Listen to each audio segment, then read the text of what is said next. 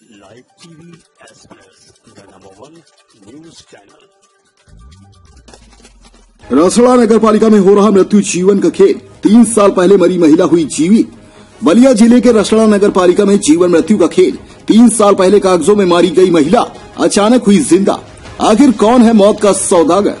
आदर्श जाने वाले नगर पालिका में अजीबो गरीब घटना हुई है जिससे यह संदेह होता है कि नगर पालिका की कार्यशैली संतोषजनक नहीं है। दरअसल मामला यह है कि नगर पालिका वार्ड नंबर पंद्रह की निवासिनी मेमूनेशा ने जब अपने परिवार रजिस्टर की नकल देखी तो वो हैरान हो गई। हैरान होने वाली बात यह थी कि मेमूनेशा को नगर पालिका के कुटुम्ब रजिस्टर में 31 जुलाई साल 2017 में मृतक घोषित कर दिया गया था। जीवित महिला जब अपने को परिवार रजिस्टर में मरा अवस्था में पाई तो उसके होश उड़ गए। महिला ने पत्रकार वार्ता में बताया कि नगर पालिका परिषद और मेरा पुत्र शमशाद अंसारी द्वारा मुझे परिवार रजिस्टर में मृतक घोषित कर दिया गया है। और इसी के क्रम में पुत्र समस्त संपत्ति को हड़प कर बैठा हुआ है। वहीं पुत्र शमशाद का कहना कि इसमें मेरा कोई दोष नहीं है। ये सब नगर पालिका का काम है। नगर पालिका समझे।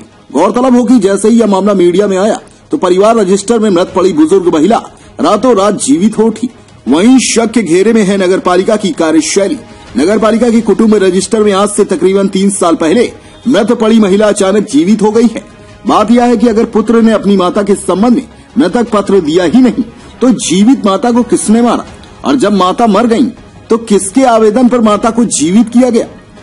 वहीं इस विषय को लेकर महिला ने रसोड़ा एसडीएम से लेकर डीएम बलिया तक शिकायती पत्र सौंपा है। लेकिन सारे अधिकारी इस गंभीर विषय पर चुप्पी साधे बैठे हैं।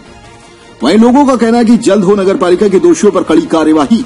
वहीं कुछ लोगों का कहना है कि कार्रवाई में देरी होना नगर पालिका के कर्मचारियों और अधिकारियों की मिली भगत का इशारा कर रहा है। बलिया से संवाददाता राघवेंद्र कुमार गौतम की रिपोर्ट।